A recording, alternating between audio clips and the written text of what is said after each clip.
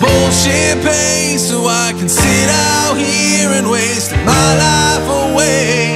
Drag back home and drown my troubles away. It's a damn shame.